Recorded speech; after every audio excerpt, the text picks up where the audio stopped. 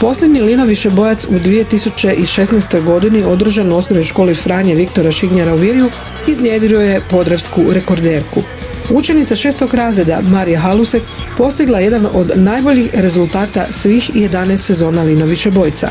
Od mogućih 200, Marija je osvojila 170 bodova, što je svrstava među favorite ovogodišnjih natjecanja. Zato sam se trudila i bila sam stvarno, nisam se nadala tomu. Kaže tvoja ravnateljica da si ti stalno u ovoj sportskoj dvorani, da treniraš, je to istina? Je. A što, koji je tvoj sport? Košarka, treniram četiri godine, trener mi je Ivica Molnar i lijepo je biti u toj dvorani. Dobro si se pripremila za višebojac u svojoj školi, a kako će tek biti za finale? Još će se bolje pripremiti, bit će tih 200 bodova. Pobjednički duh iskazao je osmaš Dino Vršić, koji je skupio 140 bodova i još dugo nakon završetka natjecanja u najverici gledao osvojeni pobjednički pehar. Dino, ti baš ne voliš mikrofone, neku slavu, jel da? Ne. Zašto? A kad sam sramežljiva, ne znam. Sramežljivost te nije omela u tome da imaš dobar rezultat da se popiš na pobjedničko postolje. U čemu je bila tajna? Pa ne znam, tako se potrefilo. Tvoj sport je? Nogomet. Igram za NK Podra Tvoj uzor je? E, Mančukić. Marija i Dino prve su čestitke primili od rukometašica Podravka Vegete Dragice Džono i Ana Marije Gugić te nogometaša Slavin Belupa, Gordana Barića i Aleksandra Jovičića koji su se odlično snašli u ulogama sportskih gostiju.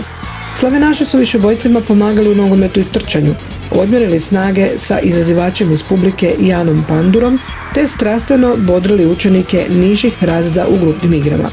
Podravkašice su se naprosto rastrčale terenom, s osmijehom na licima, izgubile duel s Veronikom Lenardić, te s veseljem izvele i kaznene slekove.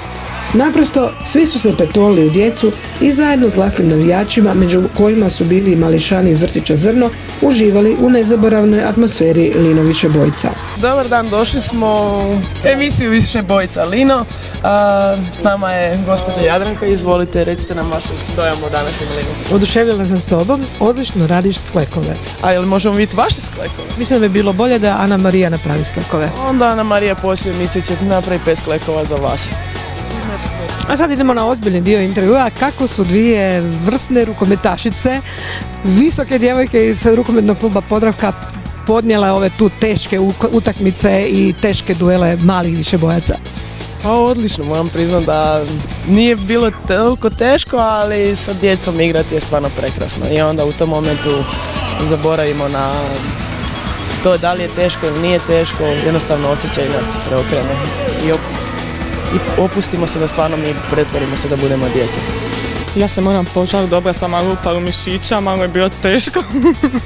ne, super je stvarno, ima natjecateljski duh među djecom, stvarno je sve super bilo. Dobili su vidim tu i nagrade za najbolje navijače, tako da mogu doći u našu dvoranu pokazati kako oni to rade. Moj bio omiljeni predmet matematike.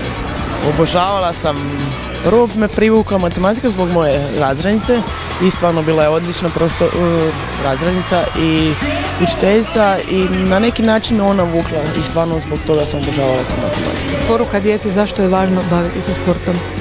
A važno je da imaju taj duh sportski. Da, i razvijanje prijateljstva i druženja s drugom djecom i kako će se ponašati dok su u društvu, tako da Djeco, bavite se sportom. Svoj obol predivnom spoju kulture i sporta dali su i podrpini pripravnici koji su procijenili da su najbolji navijači učenici 8. da najljepše maske imaju učenici drugoga i dodijelili posebnu nagradu Ivi Plemenčić koja je cijeli Linoviće bojac skakutala i trčala s maskom lisice. Moramo istići i poticajnu ulogu nekadašnje golmanice Podravke, proglašene i za najbolju rukometašicu Hrvatske, Barbare Sančin, koja je pored ostalog uručila nagradu Janu Hapavelu za najbolji literarni rad. Virovski Linoviše Bojac bio je posljednji u ovoj godini, a nastavak slijedi 26. siječnja 2017. godine kada je domaćin osnovna škola Vladimira Nazora iz Murskog središća.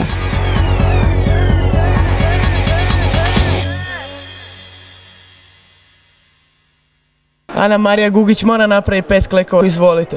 Na tebi prepustamo. Nije baš da nešto Ajmo, jedan, jedan, dva, tri, četiri, pet i po. Ko je rekao da ja to ne zna raditi?